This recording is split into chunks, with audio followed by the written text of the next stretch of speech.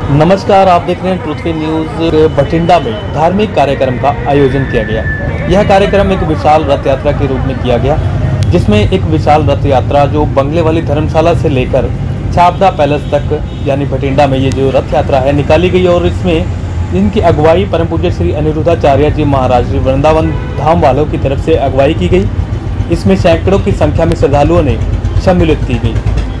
इसमें 101 क- कलश जो है महिलाओं के सर पर रखकर इस रथ यात्रा में हिस्सा लिया गया और बड़ी ही श्रद्धापूर्वक इस रथ यात्रा को मुकम्मल किया गया। यह रथ यात्रा के बाद बठिंडा में आयोजन किया जाने वाला जो कार्यक्रम है, जिसमें 12 सितंबर दिन रविवार, यानी आज से यह कार्यक्रम शुरू हो जाएगा और यह कार्यक्रम 17 सितंबर 2021 दिन शुक्रवार तक आयोजित किया जाएगा। इसका समय शाम छः बजे से लेकर रात्रि नौ साढ़े नौ बजे तक रहेगा, जिसमें श्री श्रीमद् भागवत गीता की कथा का पावन प्रसंग किया जाएगा, जिसका पावन प्रसंग परम पूज्य श्री अनुरुद्धाचार्य जी महाराज श्री वृंदावन धर्म धाम वालों की तरफ़ से किया जा रहा है, जिसमें उन्होंने अपील की है कि ज़्यादा से ज़्यादा श्रद्धालु इस समय पहुंचकर इस कथा का आनंद लें।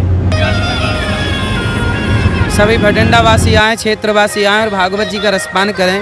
भागवत जी धर्म का प्रचार करने का एकमात्र इस कली काल में साधन है। भक्ति का ज्ञान का और वैराग्य का इसमें निरूपण है। तो भागवत जी श्रवण करने मात्र से प्राणी का कल्याण होता है। तो आप सभी को आके श्रवण करना चाहिए और कैसे युवाओं को राह मिलेगी और कैसे युवाओं को धर्म से जुड़ना है, ये सब मार्ग इस भागवत जी में होंगे। आज 12 तारीख से लेकर 18 तारीख तक भागवत जी चलेंगे सात दिवसीय।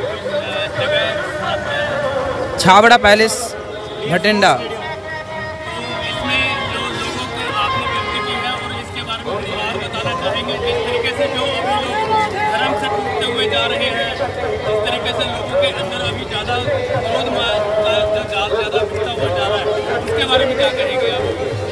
सात दिन की कथा में यही काम होगा कि किस प्रकार क्रोध पर नियंत्रण करें, किस प्रकार लोभ पर नियंत्रण करें और किस प्रकार भक्ति बढ़ाएँ।